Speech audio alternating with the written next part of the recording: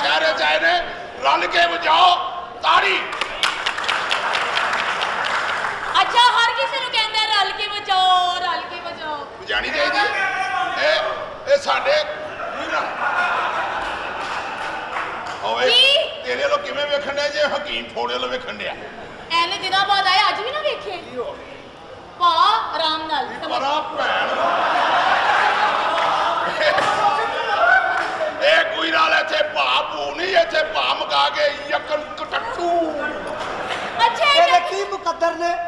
ਸੱਕੀ ਬੁੱਢੀ ਵੀ ਇਹਨੂੰ ਕਹਿੰਦੀ ਭਾਸ਼ਾ ਕੇ ਨਾ ਕਰ ਗਿਆ ਲਓ ਜੀ ਹੈ ਬੱਚੀ ਏ ਆਹ। ਮੋਟਰ ਵੱਡੀ ਲੱਗੀ ਲੱਗਿਆ ਕਿਉਂ ਨਾ ਜਨਰੇਟਰ ਵੀ ਤੇ ਮੇਰੇ ਹੀ ਚੱਲਦਾ ਹਾਂ ਜਨਰੇਟਰ ਵੀ ਤੇ ਇਹਦਾ ਚੱਲਦਾ ਹੈ। ਜੇ ਤੇਰਾ ਜਨਰੇਟਰ ਕੰਮ ਕਰਦਾ ਹੁੰਦਾ ਤੇ ਤੇਰੀ ਬੁੱਢੀ ਤੈਨੂੰ ਇੱਥੇ ਆ ਕੇ ਛਿੱਤਰ ਲਾਂਦੀ ਔਰ ਸਾਲਾ ਉਦੋਂ ਕਹਿਣ ਡਿਆ ਸੀ ਬੰਦ ਕਰੋ ਕੈਮਰੇ ਸਾਡੇ ਘਰ ਦਾ ਮਸਲਾ ਬੰਦ ਕਰੋ ਹੈ ਆ ਤਮੀਜ਼ ਹੈ ਚਲੋ ਇੱਕ ਹੋਰ ਇਹ ਹਰਕਤਾਂ ਹੈ ਨੇ ਤੇਰੀਆਂ ਕਰਨ ਵਾਲੀਆਂ ਵੈਸੇ। ਜੀ ਯਾਰ ਕਰ ਬੜੀ ਰੀਜ਼ਨੇਬਲ ਬਣਨੀ ਹੈ ਤੂੰ ਆਪਣੇ। ਹੈਂ? ਨਹੀਂ। ਤੇ ਜੇ ਤੁਹਾਨੂੰ ਪਿਆਸ ਲੱਗੀ ਸੀ ਤੇ ਟੂਟੀ ਸਾਡੀ ਤੋਂ ਪਾਣੀ ਪੀ ਲੈਣਾ ਸੀ।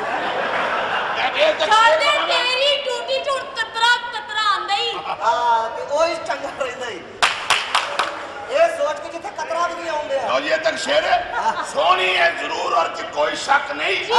ਲਾਹੌਰ ਦੇ ਮੁੰਡਿਆਂ ਨਾਲ ਚ ਗੱਲਾਂ ਕਰਨੀਆਂ ਸਾਡੇ ਗੁਜਰਾਂ ਵਾਲਿਆਂ ਦਾ ਕੋਈ ਹੱਕ ਨਹੀਂ। ਆਹ ਉਹਦੇ ਮੁੰਡੇ ਨੇ ਨਾ ਸੱਸ ਗੱਲਾਂ ਗੁਜਰਾਲੇ ਦਾ ਕੋਈ ਹੱਕ ਨਹੀਂ। ਉਹ ਵਿਚਾਰੀ ਇੱਥੇ ਕੀ ਹੱਕ ਚਿਤਾਵੇ ਤੇਰੀ ਬੁੱਢੀ ਨੇ ਛੱਡਿਆ ਹੀ ਕੱਖ ਨਹੀਂ। ਸਾਰਾ ਕਰੀ ਜਾਂਦਾ ਘੋੜਾ ਨਾ ਹੋਏ ਤੇ। ਅਸਲਾਮ ਅਲੈਕੁਮ। ਵਾਲੇਕੁਮ ਅਸਲਾਮ ਹਾਊ ਆਰ ਯੂ ਆ ਆ ਕੌਣ ਹੈ? ਆ ਕੀ? ਪੜੀ ਹੈ ਪੜੀ ਹੈ। ਜੀ ਮੈਂ ਡਬਲ ਐਮਏ ਕੀਤੇ? ਡਬਲ ਹੀ ਕਰਨਾ ਚਾਹੀਦਾ। ਹਾਂ। ਕਰਨਾ ਹੀ ਡਬਲ ਚਾਹੀਦਾ ਭਾਈ ਜੀ। ਪਹਿਲਾਂ ਤਾਂ ਜਾਂਦੇ ਹੀ ਹੋ ਜਾਂਦਾ ਨਾ। ਡਬਲ ਐਮਏ ਕੀਤਾ ਹੋਏ ਨਾ ਤੇ ਬੰਦੇ ਨੂੰ ਯਾਦ ਹੁੰਦਾ ਕਿ ਮੈਂ ਕਿੱਥੇ ਕਿੱਥੇ ਪੜ੍ਹਿਆ ਹਾਂ ਨਹੀਂ ਮੈਂ ਕਿਹੜੀ ਕਿਤਾਬ ਪੜ੍ਹਿਆ ਮੈਂ। ਮੈਂ ਇੱਕ ਖਲੋ ਕੇ ਕੀਤਾ ਹਾਂ। ਤੇ ਦੂਜਾ ਮੈਂ ਸੋ ਕੇ ਕੀਤਾ। ਸਿੰਗਲ ਅੱਛਾ ਸੌਣ ਵਾਲਾ ਫਿਰ ਤੁਹਾਨੂੰ ਯਾਦ ਨਹੀਂ ਹੋਣਾ। ਉਹ ਤੁਹਾਨੂੰ ਦੁਬਾਰਾ ਯਾਦ ਕਰਾਉਣਾ ਪੈਣਾ। ਤਮੀਜ਼ ਨਾਲ ਹੈ ਕੌਣ ਹੈ ਘਰ ਕਿ ਬਿੱਲੀਆਂ ਦਾ ਨਾਜ਼ਮ ਮੈਨੂੰ ਨਹੀਂ ਪਛਾਣਿਆ। ਨਹੀਂ। ਸਾਨੂੰ ਜੀ ਮੁਜ਼ੱਫਰਾਬਾਦੋਂ ਮਲਬੇ ਥੱਲੋਂ ਕੱਢਿਆ ਉਹਨਾਂ ਨੇ। ਤੂੰ ਫੇਰ ਬਚ ਗਿਆ ਉਹ ਵੱਡਾ ਪੱਥਰ ਟਿਕਾਣਾ ਜੀ ਅੱਧਾ ਟੁੱਟ ਕੇ ਮੈਂ ਪਰਾਂ ਜਾ ਪਿਆ। ਤੁਹਾਡੇ ਮੁਕੱਦਰਾਂ ਦਾ ਤੁਹਾਡੇ ਤੱਕ ਪਹੁੰਚ ਗਿਆ। ਹਾਏ ਨੀ। ਲੱਲਾ ਲੱਲਾ। ਕੀ ਲੀਲਾ ਲੀਲਾ? ਆਖਰੀ ਦਾਣਾ ਰਹਿ ਗਿਆ ਲੱਲਾ। ਤਾਂ ਕੋਈ ਚਾਹ ਨਾ ਪਹਿਚਾਨ ਮੈਂ ਤੇਰਾ ਮਹਿਮਾਨ। ਆ ਨਸੀਬਾਂ ਵਾਲੀ ਏ। ਮੈਂ? ਆ ਲੱਲਾ। ਉਹ ਤੇ ਮੈਂ ਹੈ ਵਾਂ। ਹਾਂ। ਵੱਧ ਜਾਣਗੇ। ਕੀ? ਨਸੀਬ। ਜਿਹੜੀ ਗੱਲ ਕਰ ਰਿਹਾ ਨਾ? ਮੈਨੂੰ ਸਾਰਾ ਪਤਾ। ਹਾਂ। ਹੈ ਕੌਣ ਹੈ? ਮੈਨੂੰ ਦੱਸਦਾ ਕਿਉਂ ਨਹੀਂ? ਉਹ ਤੇਰੀ ਭੈਣ ਨੂੰ ਚਾਰ ਦਿਨ ਦੁਨੀਆ ਤੇ ਆਏ ਆ ਫੇਰ ਟੁਰ ਲੈ ਫੇਰ ਟੁਰ ਜਾਈ। ਕੀ ਕੰਮ ਕੀ ਲੱਗ ਰਿਹਾ ਕਿ? ਬਹੁਤ ਖੁੱਲੀ ਜਗ੍ਹਾ ਹੈ। ਕਾਦੀ ਕਾਲ ਹੈ ਤੈਨੂੰ ਇਹ ਦੱਸ। ਨਹੀਂ ਤੇ ਉੱਥੇ ਫੱਟੀ ਲਿਖੀ ਨਹੀਂ ਕਿ ਕਿੰਨੇ ਫੁੱਟ ਦੀ ਗਹਿਰਾਈ ਹੈ ਕਿਹੜੀ ਕਿਹੜੀ ਗਹਿਰਾਈਆਂ ਗੱਲ ਕਰ ਰਿਹਾ ਹੈ ਨਹੀਂ ਇਹਨੂੰ ਸ਼ਰਮ ਹੀ ਨਹੀਂ ਆਉਂਦੀ। ਮੈਂ ਵਿਆਹ ਕਰਾਉਣ ਲੱਗਾ ਇਹ ਨਹਿਰ ਤੇ ਨਹਾਉਣ ਲੱਗਾ। ਆ ਫੜ ਕੇ ਰੱਖ। ਆ ਪਿੱਛੇ ਹਾਂ। ਪਿੱਛੇ ਪਿੱਛੇ ਨਾ ਮੇਰੇ ਚੱਲ ਵੇ ਨਈ ਚੀਰੇ ਵਾਲੇ ਆਵੇ ਚੀਰੇ ਵਾਲੇ ਆਵੇ ਖਦਾ ਹੋਇਆ ਆ ਪੂਰੀਏ। ਅੱਛਾ। ਆਪਣੀ ਹੈ ਸਾਡੀ। ਹੈ। ਹਾਂ। ਓਏ। ਵੇਚਦੇ ਹੋ ਜਾਂ ਘਰ ਹੀ ਇਸਤੇਮਾਲ ਕਰਦੇ ਹੋ? ਓਏ ਤਮੀਜ਼ ਇੱਕ ਟਾਈਮ ਦਾ ਅਸੀਂ ਵੇਚਣਾ ਆ। ਇੱਕ ਟਾਈਮ ਦਾ ਘਟਾ ਪੀਂਦੇ ਆ। ਮਾਂ ਸਦਕੇ ਜਾਏ ਕਿੰਨਾ ਪਾਲਾ ਬੇਬੀ। ਦੇ। ਇਹ ਇਸ ਤਰ੍ਹਾਂ ਨਹੀਂ ਤੈਨੂੰ ਸਹੀ ਲੱਗਣਾ ਇਹਦੀਆਂ ਬਾਹਾਂ ਨਾ ਨਾ ਹੁੰਦੀਆਂ। ਹਾਂ। ਫੇਰ ਤੇਰੇ ਕੰਮ ਆਉਣਾ ਸੀ। ਫਿੱਟ ਹੈ ਬਹੁਤ ਅੱਛਾ ਮੈਂ ਆਵੇਂ ਤੇ ਸੀ ਆ ਜਾਂਦੇ ਕੰਮ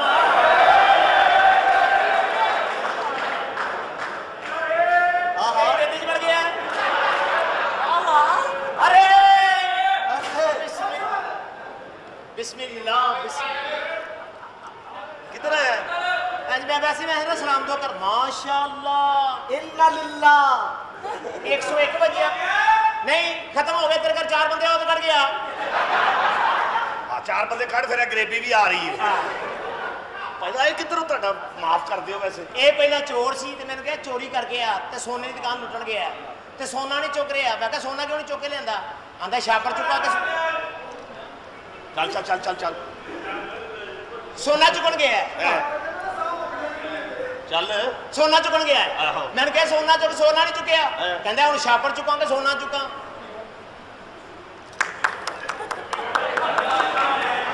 ਤੁਸੀਂ ਅਕਸਰ ਅਕਸਰ ਕਹਾ ਤੁਸੀਂ ਕਸਾਈ ਦੀ ਦੁਕਾਨ ਤੇ ਜਾਓ ਨਾ ਤੁਹਾਨੂੰ ਕੋਈ ਕਿਲੋ ਛੋਟਾ ਗੋਸ਼ਤ ਤੋਲ ਦੇ। ਉਹ ਤੋਲ ਕੇ ਐਂਡ ਤੇ ਇਹਦੇ ਮੂੰਹ ਵਰਗੀ ਇੱਕ ਹੱਡੀ ਸੁੱਟ ਕੇ ਕਹਿੰਦਾ ਲੋ ਬਾਬੂ ਸਵਾ ਕਿਲੋ ਪੂਰਾ ਹੀ ਹੋ ਗਿਆ ਜੀ। ਮਰੇ ਸੀ ਤੈਨੂੰ ਕਿਹਾ ਸਵਾ ਕਿਲੋ ਕਰ ਭਾਈ ਜੀ ਕਦੀ ਤੁਸੀਂ ਜੀਟੀ ਰੋਡ ਤੇ ਗਏ ਹੋ? ਬੇਸ਼ੁਮਾਰ। ਉੱਥੇ ਜਾ ਕੇ ਤੁਸੀਂ ਹਾਫ ਸੈਟ ਚਾਹ ਦਾ ਆਰਡਰ ਦਿੱਤਾ ਹੋਵੇ? ਯੈਸ ਉਹ ਦੋ ਕੱਪ ਤੇ ਨਿੱਕੀ ਜੀ ਚੈਨਕ ਹਾਂ। ਹਾਂ ਹਾਂ ਉਹ ਜਿੱਥੋਂ ਚੈਨਕ ਫੜੀ ਦੀ ਹੈ ਨਾ ਹਾਂ, ਹਾਂ, ਹਾਂ। ਤੇ ਅੱਗੋਂ ਜਿੱਥੋਂ ਚਾਹ ਨਿਕਲਦੀ ਹੈ। ਹਾਂਜੀ। ਦੇਖੋ ਜਿੱਥੋਂ ਚਾਹ ਨਿਕਲਦੀ ਹੈ ਨਾ ਉਹਦੇ ਵਰਗਾ ਤੇ ਤੁਹਾਡਾ ਮੂੰਹ ਨਹੀਂ। ਨਹੀਂ। ਆਇਆ। ਫਿਰ? ਉਹ ਜਿਹੜੀ ਕਾਗਜ਼ ਦੀ ਬਣਾ ਕੇ ਚੈਨਕ ਦੇ ਅੱਗੇ ਨਹੀਂ ਚੁੱਝ ਦਿੰਦੇ ਹੋ ਉਹਦੇ ਵਰਗਾ ਮੂੰਹ ਹੈ ਤੁਹਾਡਾ। ਕੀ ਬਕਵਾਸ ਕਰ ਕਹਿੰਦਾ ਰਹੇ ਮੈਂ ਬਾਰਿਸ਼ ਵਿੱਚ ਨਹਾਣਾ। ਇੱਕ ਕੜਾ ਇਹਦੇ ਸਿਰ 'ਚ ਵੱਜਿਆ ਉੱਥੇ ਚੱਕਰ ਆਉਣ ਲੱਗ ਪਿਆ। ਉਹ ਮੈਂ ਮਰ ਗਿਆ। ਇਹ ਇਹ ਹੁੰਦੀ ਏ ਬਾਰਿਸ਼ ਦੀ ਦਹਿਸ਼ਤ। ਹਾਂ।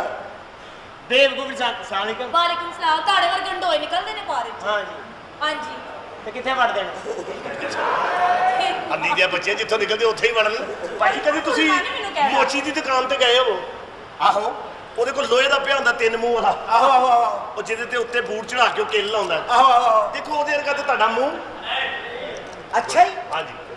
ਫੇਰ ਕਿਤੇ ਵਰਗਾ? ਉਹ ਜਿਹੜੀ ਬੂਟ ਦੇ ਵਿੱਚ ਦੇ ਕੇ ਸੂਤਰ ਪਾ ਕੇ ਐ ਨਹੀਂ ਖਿੱਚਦਾ ਜਿੰਦਾ ਐਵੇਂ ਇੱਜ਼ਤ ਕਦੀ ਤੁਸੀਂ ਅਚਾਨਕ ਆਪਣੇ ਘਰ ਗਏ ਹੋ ਐਂ ਘਰ ਦਾ ਦਰਵਾਜ਼ਾ ਖੋਲੋ ਤੁਹਾਡੀ ਬੁੱਢੀ ਦੇ ਕੋਲ ਕੋਈ ਬੰਦਾ ਬੈਠਾ ਹੋਵੇ।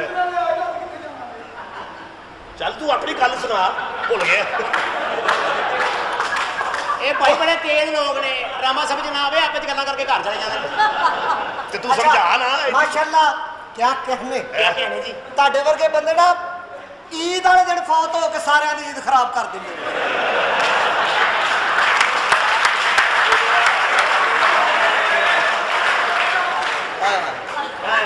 ਇਹਦੀਆਂ ਗੱਲਾਂ ਸੁਣਾਈ? ਕਿਉਂ?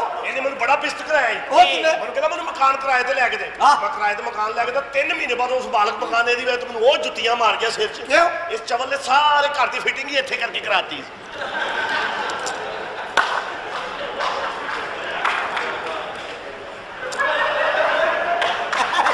ਚੈੱਕ ਕੀਤਾ ਟੂਟੀ ਲੀਕ ਤੇ ਨਹੀਂ? ਮੈਂ ਤੇ ਘਰ ਗਿਆ ਬਾਥਰੂਮ ਬਹਿ ਨਾਲ- ਕੇ ਰੋਂਦੇ ਆ। ਹਾਂ। ਸ਼ਾਦੀ ਹੋਈ ਤੇਰੀ? ਨਹੀਂ ਜੀ ਮੈਂ ਬਿਲਕੁਲ ਜ਼ੀਰੋ ਮੀਟਰ ਆ। ਇਹ ਨਹੀਂ ਬਾਅਦ ਚ ਉਹਨਾਂ ਨੂੰ ਵੀ ਸੀਟਾਂ ਤੇ ਨਵੇਂ ਛਾਪਰ ਚੜੇ ਹੋਣ। ਇਹ ਤੁਸੀਂ 0 ਮੀਟਰ ਹੋ ਜੀ ਤੇ 80 ਮੀਟਰ ਲੱਗਣ ਤੋਂ ਪਹਿਲਾਂ ਹੀ ਹੋਏ ਆ ये भी तो साथ ही लगी हुई है ਹਾਂ ਸੋਹਣੀਆਂ ਨੇ सोनी है प्यारी हैं आप बड़ी हसीन है ਥੈਂਕ ਯੂ गुजराले आए हो ना ਹਾਂਜੀ बड़े मेहमान नवाज लोग ने ਅੱਛਾ ਤੁਹਾਨੂੰ ਇਹਨਾਂ ਖਾਲੀ ਪੇਟ ਨਹੀਂ ਜਾਣ ਦੇਣਾ ਕੀ ਖਵਾਣਗੇ ਤੁਸੀਂ ਕਿ ਜੇ ਲਾਹੌਰ ਦੇ KFC ਮੈਕਡੋਨਲਡ ਅੱਛਾ ਇਹ ਤੇ ਚੌਲਾਂ ਦੀ ਪਲੇਟ ਖਵਾ ਕੇ ਮਹੀਨਾ ਮਹੀਨਾ ਪਿੱਛਾ ਨਹੀਂ ਛੱਡਦੇ ਉਹ ਤੇ ਲੱਗ ਹੀ ਰਹੇ ਆ। ਉਤੋਂ ਤਾਨੇ ਬੜੇ ਜੀ ਮਾਰਦੇ ਨਹੀਂ ਕਿਹੜੇ? ਤੂੰ ਦੋ ਵਾਰੀ ਦਾਲ ਪਵਾਈ ਅਸੀਂ ਬੋਲੇ ਵੇ ਗੰਦੀਆਂ ਗੱਲਾਂ ਨਹੀਂ ਕਰਨੀਆਂ ਓਕੇ ਓਏ ਸਾਫ਼ ਹੀ ਨੇ ਕਿਹੜੀਆਂ ਗੰਦੀਆਂ ਤੈਨੂੰ ਗੱਲਾਂ ਦਾ ਪਤਾ ਹੈ ਵੇ ਲੇਕਿਨ ਨਵੀਂ ਨਵੀਂ ਤੇ ਆਈ ਆ ਸੰਡੇ ਹੀ ਬੂਟੀ ਪੀਤੀ ਆ। ਨਹੀਂ। ਇਹ ਗੁਜਰਾਂ ਵਾਲਾ ਇੱਥੋਂ ਦੀ ਬੂਟੀ ਨਾ ਪੀਵੀਂ। ਕਿਉਂ? ਦੌਰੀ ਕਿਸੇ ਦੀ ਡੰਡਾ ਕਿਸੇ ਦਾ ਰਗੜ ਕੋਈ ਜਾਂਦਾ ਹੀ ਅੱਛਾ। ਹਾਂਜੀ ਇੱਥੇ ਇੱਕ ਦਾ ਕਹਿ ਕੇ ਚਾਰ ਹੋ ਜਾਂਦੇ ਨੇ। ਉਹ ਤੇਰੀ ਖੈਰ ਪੰਜਵਾਂ ਉਹ ਹੁੰਦਾ ਜਿਹਦੀ ਬੈਠਕ ਹੁੰਦੀ ਹੈ ਹਾਂਜੀ ਓਏ ਓਏ ਪਿਆਰੇ। ਅੱਛਾ ਔਰ ਸਾਰਾ ਸ਼ਹਿਰ ਫਿਰ ਲੈਣਾ ਪਤੋ ਮੰਡ ਨਹੀਂ ਜਾਣਾ। ਕਿਉਂ? ਨਿੱਕੀ ਜੀ ਪਤੋ ਅਗਲੇ ਮੰਡ ਮੰਡ ਰੱਖੀ। ਵੇ ਤੂੰ ਮੈਨੂੰ ਡਰਾਣਾ ਓਕੇ ਸ਼ਾਦੀ ਹੋਈ ਆ? ਨਹੀਂ। ਤੇਰੀਆਂ ਤੇ ਤਲਾਕਾਂ ਉੱਥੇ ਟੰਗੀਆਂ ਜਿੱਥੇ ਬਿਜਲੀ ਦਾ ਬਿੱਲ ਟੰਗੀ ਦਾ ਨਹੀਂ। ਮੈਂ ਮੈਰਿਡ ਬਿਲਕੁਲ ਨਹੀਂ ਹੋਈ। ਨਹੀਂ। ਥੋੜੀ ਬਹੁਤੀ। ਨਹੀਂ ਨਾ। ਲਾੜਾ ਵੇਖਿਆ ਹੀ? ਨਹੀਂ ਮੈਨੂੰ ਐ ਦੱਸ। ਲਾੜਾ ਬਿਲਕੁਲ ਨਹੀਂ ਵੇਖਿਆ। ਨਹੀਂ। ਕਦੀ ਲਾੜੇ ਨੂੰ ਹੱਥ ਲਾਇਆ ਹੋਵੇ। ਨਹੀਂ। ਕਦੀ ਕਿਹਾ ਹੋਵੇ ਵੇ ਲਾੜਿਆ। ਮੈਨੂੰ ਪਤਾ ਹੀ ਨਹੀਂ ਲੜਾ ਹੁੰਦਾ ਕੀ ਹੈ ਲੈ ਤੈਨੂੰ ਪਤਾ ਨਹੀਂ। ਕਸਮ ਹੈ। ਤੈਨੂੰ ਬਿਲਕੁਲ ਨਹੀਂ ਪਤਾ। ਨਹੀਂ ਪਤਾ। ਸ਼ਾਦੀ 'ਚ ਇੱਕ ਲਾੜਾ ਹੁੰਦਾ ਇੱਕ ਦੁਲਹਨ ਹੁੰਦੀ ਏ। ਅੱਛਾ ਫੇਰ? ਫਿਰ ਪਿੱਛੇ 400 ਬੰਦਾ ਖੱਜਲ ਹੋ ਰਿਹਾ ਹੁੰਦਾ। ਹੈ ਖੱਜਲ ਕਿਉਂ ਹੁੰਦੇ ਨੇ? ਉਹ ਇਸ ਵਾਸਤੇ ਕਿ ਉਹਨਾਂ ਨੇ ਪੂਰਾ ਅੰਦਰ ਵਾੜ ਕੇ ਕੁੰਡੀ ਲਾਣੀ ਹੁੰਦੀ ਏ। ਅੱਛਾ ਫੇਰ ਕੀ ਹੁੰਦਾ? ਤੇ ਹੈ? ਲਾੜਾ ਨੱਸ ਨਾ ਜਾਏ। ਅੱਛਾ ਫੇਰ? ਫਿਰ ਇੱਕ ਬੰਦ ਕਮਰਾ ਹੁੰਦਾ। ਹੈ ਬੰਦ ਕਮਰਾ। ਹਾਂ। ਫੇਰ? ਫਿਰ ਜ਼ੀਰੋ ਦਾ ਬਲਬ। ਉਹ ਜ਼ੀਰੋ ਦਾ ਬਲਬ ਕਿਉਂ ਹੁੰਦਾ ਹੈ? ਫਿਰ ਮਸਹਿਰੀ ਲੱਗੀ ਹੁੰਦੀ ਏ। ਅੱਛਾ। ਫਿਰ ਏਡਾ ਦੁੱਧ ਦਾ ਗਲਾਸ। ਉਹ ਕਿਉਂ ਹੁੰਦਾ ਹੈ? ਇਸ ਵਾਸਤੇ ਪਹਿਲੀ ਰਾਤ ਹੀ ਦੁੱਧ ਲੱਭਦਾ ਫਿਰ ਸਾਰੀ ਜ਼ਿੰਦਗੀ ਚਾਹ ਪੀਣੀ ਪੈਂਦੀ। ਹੈ